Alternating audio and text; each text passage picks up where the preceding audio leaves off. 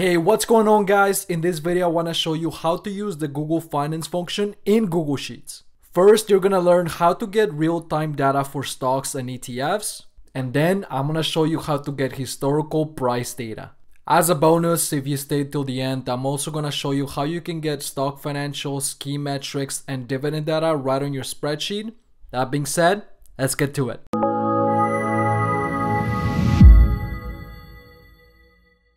Okay, so let's start with real-time stock price data or real-time data for ETFs. So it's very simple.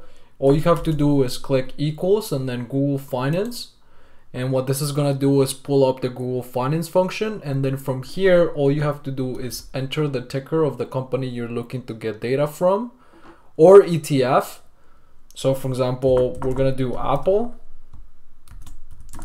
and then you enter the attribute that you want to get. So in this case, let's do price.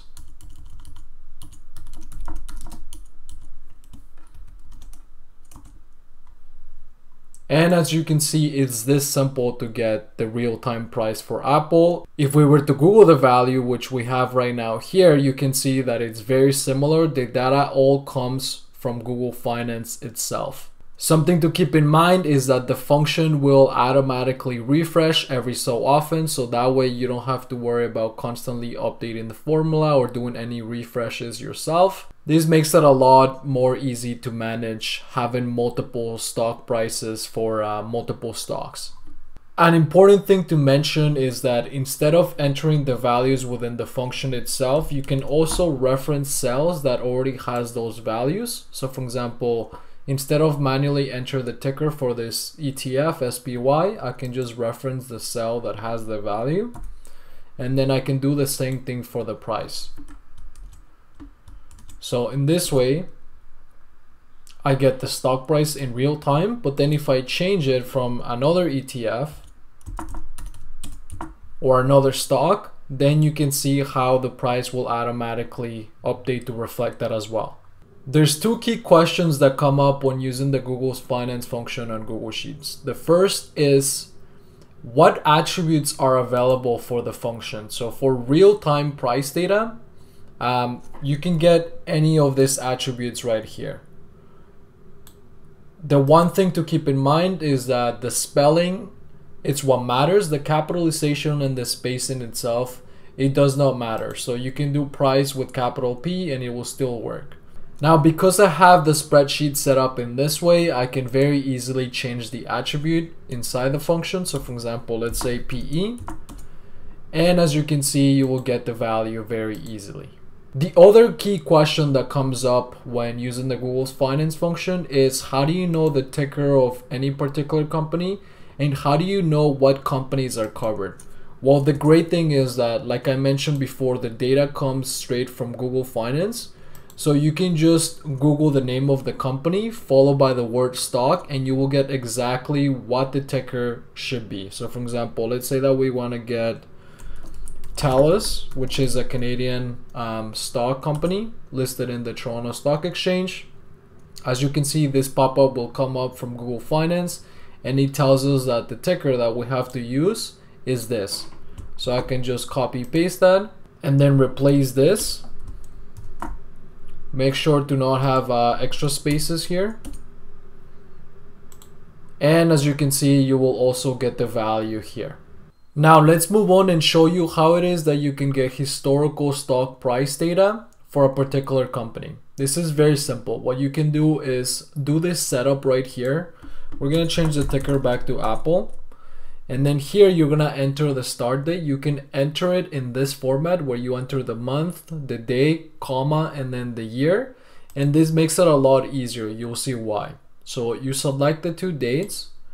Um, you turn them into the date format to make sure that you've entered them properly. And if you did it correctly, you will see how they turn into this format. This is gonna make it a lot easier for that value to be used in the function. So now we could do Google Finance enter the ticker, the attributes. So in this case, we're gonna do close, but I'm gonna show you later on what attributes are available besides close, the start date, and then the end date. We could also enter an interval. The interval could be daily or weekly. Uh, if you leave it empty, which is what I recommend you do, it does it daily, which I think is the most uh, useful feature here. Now you click enter, and as you can see, you will get this array uh, on your spreadsheet where you have the date and then you also have the close for that date. To show you what other attributes are available besides close, you can enter the attribute all and that's going to return an array with all of the different attributes that are available for historical stock price data on the Google Finance function. So as you can see, the parameters are open, high, low, close, and volume, and you get them all at once in this array. Something really useful that I recommend to use depending on your use case is to keep this start dates dynamic. So let's say that instead of having these dates fixed like in this way, uh, you want to get the data for the last 30 days. Something simple you can do is replace this by today. And this is a function that is to return the date for today. And then for the start date, what you're to do is you're to do today and you're gonna subtract 30 for 30 days. And as you can see, you're gonna get all the data you need right here. One last useful tip for the Google Finance function is to do this. So first, we're gonna go back to the close price. So that way um, you'll see what we're gonna do. And then from here, we're gonna wrap this in the sparkline function. What this is gonna do is generate a sparkline graph for the data that comes from the Google Finance function. So this is really cool. You do that. And as you can see, this is gonna give us an idea of the trend of the stock price. So we're gonna move it here. And now we could do trend line of And as you can see, you can do this for multiple stocks and it's gonna make being able to visualize the stock price over time a lot easier. Awesome, so now you made it to the end of this video and this is the bonus. So there's one key downside of using the Google Finance function and that is the fact that you cannot get any historical financials, key metrics, and dividend data on your spreadsheet and that is a real downside of using the function but don't worry there's a way in which you can do that a lot easier. So this extension is called Wisesheets and it makes this process a lot easier. All you have to do is enter the ticker of any company you like or the company name select annual or quarterly data and then when you click get data what's going to happen is that you're going to get all of the financial statements key metrics and growth metrics going back all the way to 2003. So as you can see, this data will be here, already formatted and everything for you to do your analysis a lot easier.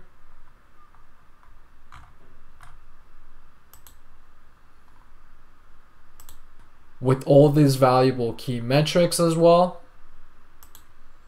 And the financial growth metrics. Most importantly, the coolest thing about the Wisesheets add-on is that if you go here on the WISE function, instead of getting all the stock data at once, you can get only the specific data points you're looking for and therefore being able to build these really cool dynamic models like the ones you can see on the left. So there's the WISE function to get historical stock financials. There's a WISE price function to get real-time stock data, but you can also use the Google Finance function for this. And then all together you can build a model like this. You can see how it's using the function in this way. And it's also combining some of the principles that we talked about in the video from the Google Finance function as well.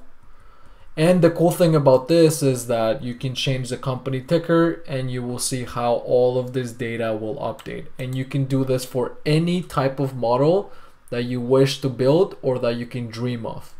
At the same time, you might be seeing this uh, at a later time, but right now we have Wise templates in beta where you can browse templates that are built by us or by the community of users for WISE Sheets. And then in one click, fire it up, get it all in your spreadsheet, and then get going with your financial analysis a lot faster. So there you have it. Now you know how to use the Google Finance function like a pro to get historical and real-time stock and ETF data right on your Google Sheet spreadsheet. And at the same time, now you know how to get stock financials, key metrics, and dividend data using Wisesheets. I hope you enjoyed this video. If you did, please give it a like and share it with a friend. And also, if you wanna check out Wisesheets, click on the link in the description so you go on the website create your free trial account and then you can test it for yourself. I hope you enjoyed this video. If you have any questions, let me know in the comments. I'll see you in the next one.